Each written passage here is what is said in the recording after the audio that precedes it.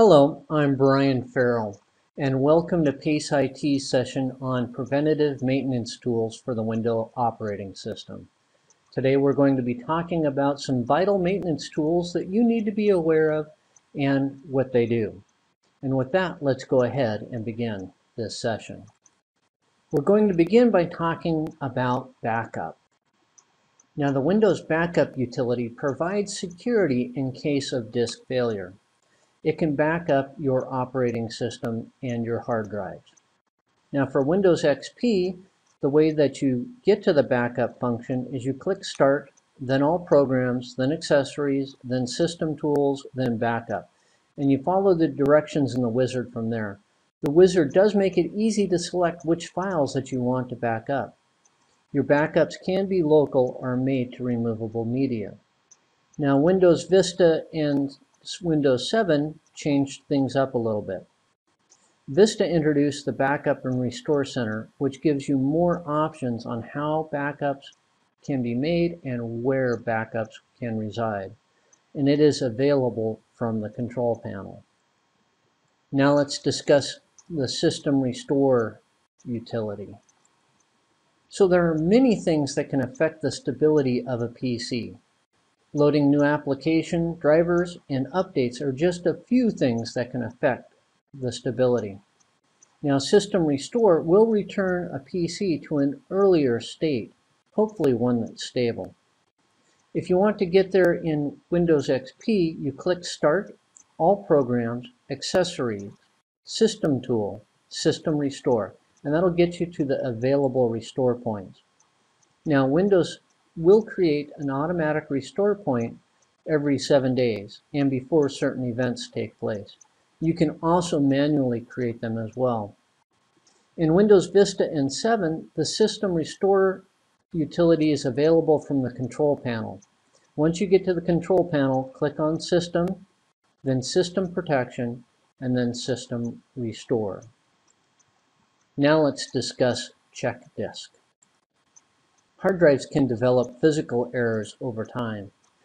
The Windows operating system may automatically detect these problems and automatically schedule a check disk for that drive on the next reboot. Check disk can mark bad drive sectors and can attempt to recover data from those bad sectors.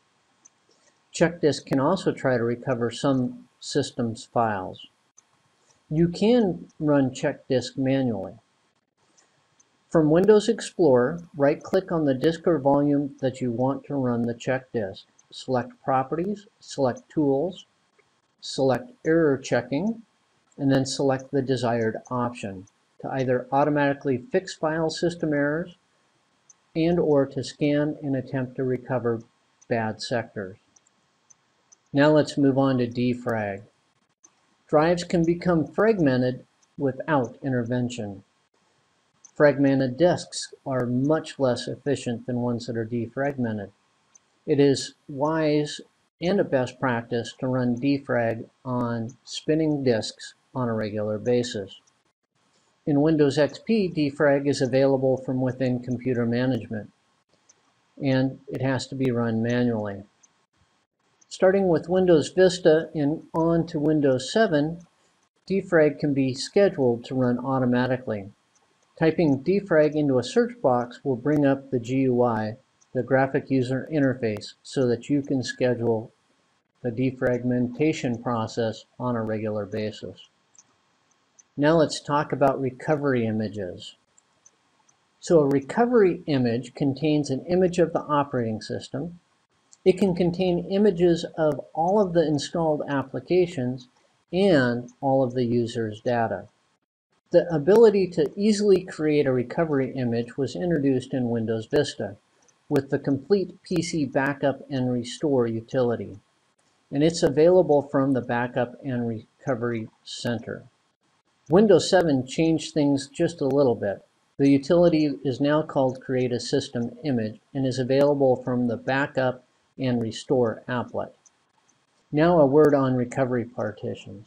A recovery partition is an image, and it's installed by the original equipment manufacturer.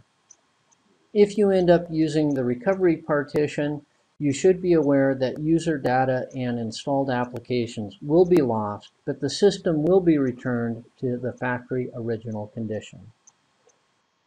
Now that concludes this session on preventative maintenance tools for the Windows operating system. And we did discuss quite a few of those preventative maintenance tools.